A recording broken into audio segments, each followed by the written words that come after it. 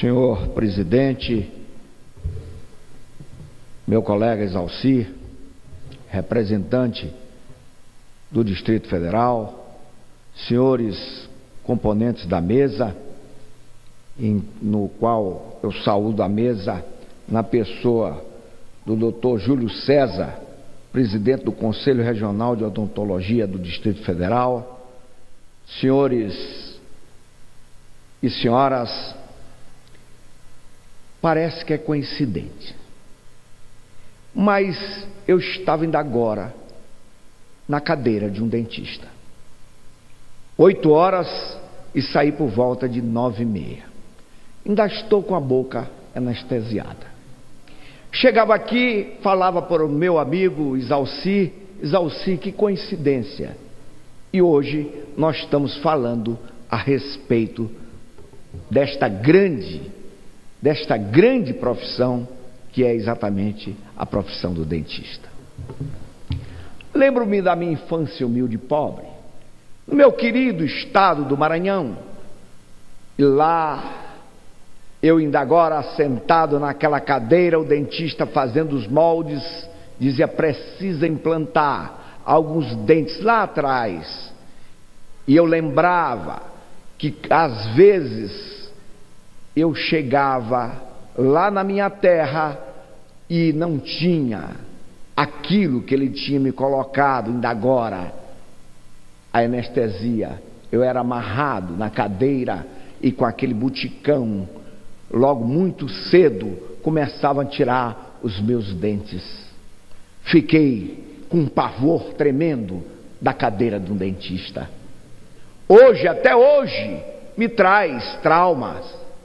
Sentava ainda agora, chega suava, respirando fundo e querendo saber da tecnologia avançada.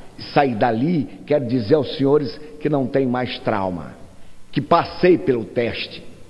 Mas o teste maior é ver que esse Brasil precisa, esse Brasil precisa caminhar em direção àqueles que precisam tanto desta profissão. Nós temos Brasis dentro do Brasil. Costuma dizer aqui dessas desigualdades regionais, ela se aprofunda, ela se apresenta.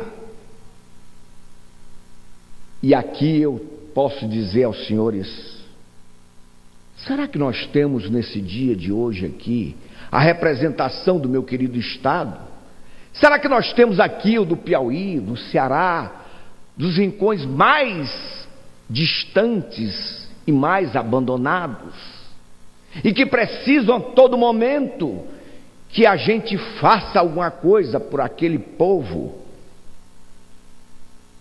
É doído quando eu chego nos municípios do Maranhão e que vejo aqueles jovens belos com os dentes totalmente estragados.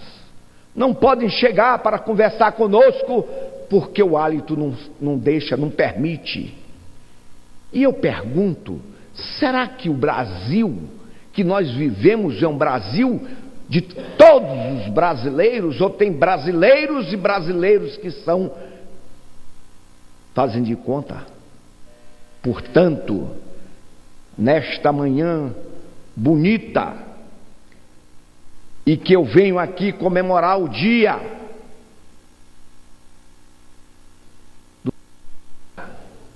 eu também venho pedir ao governo para que nós possamos nos debruçar diante disso que eu estou falando aos senhores.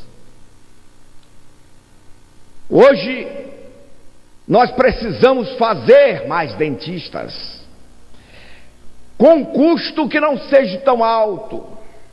Nós precisamos que os nossos conterrâneos, eu me dirijo ao meu Maranhão, se sentem na cadeira de um de um dentista, porque hoje parece que para sentar numa cadeira de um dentista, as pessoas que têm um salário, principalmente o salário mínimo, não têm condição, se não for através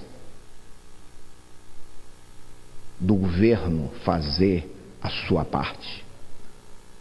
Portanto, se nós vamos aqui, estamos vindo para comemorar este belo dia, eu também chamo a atenção de todas as autoridades.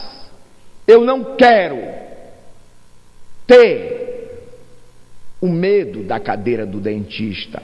Eu não quero aqui fazer com que o Brasil tenha medo de ser atendido pelo dentista, mas sim o Brasil em passos largos, em direção ao futuro, passa tudo por vocês também, a saúde bucal brasileira. Um abraço a vocês, felicidades. E eu quero que vocês sejam muito mais úteis a nosso Brasil. Muito obrigado.